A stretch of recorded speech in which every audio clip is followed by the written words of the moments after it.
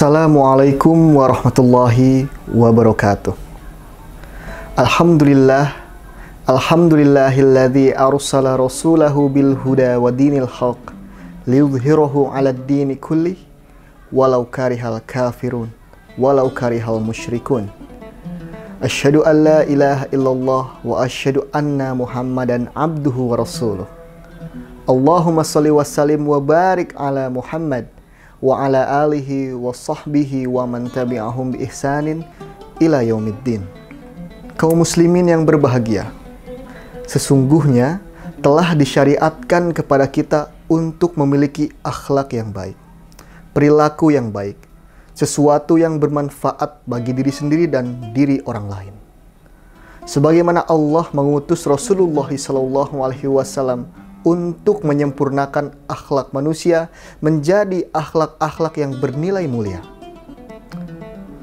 Wa Nabi sallallahu alaihi wasallam Innama bu'istu liutammimal akhlak. Sesungguhnya aku diutus untuk menyempurnakan akhlak. Oleh karena itu, selaku umat muslim, kita harus melatih diri kita untuk meningkatkan kualitas akhlak kita menjadi akhlakul karimah, akhlak yang mulia. Sebagaimana Rasulullah SAW pula bersabda bahwa mukmin yang paling sempurna adalah yang paling baik akhlaknya. Dari situ dapat kita pahami bahwa kedudukan akhlak di dalam aspek kehidupan kita sangatlah penting. Akhlak bisa menjadi pemberat timbangan kita di akhirat nanti. Akhlakul karimah, akhlak mulia atau akhlak yang baik meliputi akhlak kepada Allah Subhanahu wa taala sebagai pencipta kita dan yang kedua adalah akhlak kepada sesama manusia. Akhlak yang pertama adalah akhlak kepada Allah Subhanahu wa taala. Adapun perwujudan akhlak kepada Allah yang pertama adalah dengan menerima berita yang Allah turunkan melalui Rasulnya Muhammad dan membenarkannya.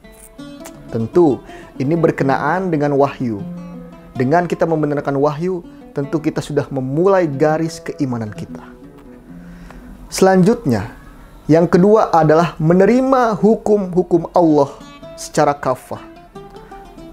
Allah menurunkan berbagai macam anjuran-anjuran hukum, perintah-perintah hukum yang mana ditugaskan untuk kita untuk menerima dan melaksanakannya.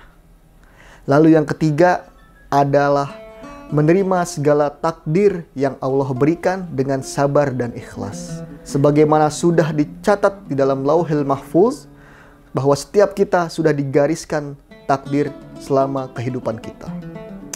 Sebagai manusia, kita harus mampu menerima takdir-takdir tersebut dengan sabar dan penghambaan sebaik mungkin kepada Allah Subhanahu wa taala. Lalu macam berikutnya adalah akhlak kepada sesama manusia. Sebagai makhluk sosial, tentu kita saling membutuhkan dengan sesama manusia kita.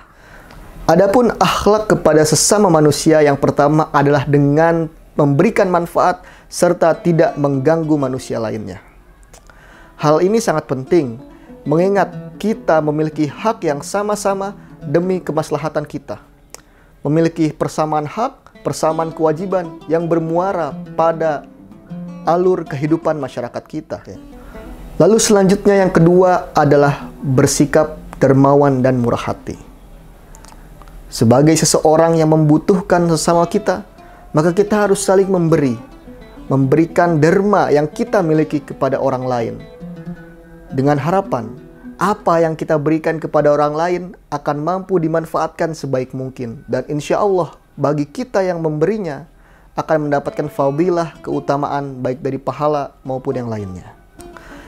Lalu yang ketiga adalah bersikap ramah.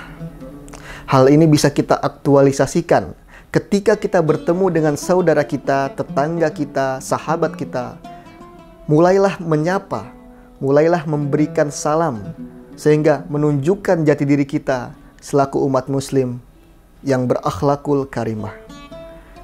Semoga Allah menjadikan diri kita semua memiliki akhlak yang mulia, menjaga lisan kita, menjaga diri kita dari segala macam yang Allah larang, dan tentunya semoga kita semua menjadi manusia-manusia yang berbenah diri lebih baik dari hari ke hari.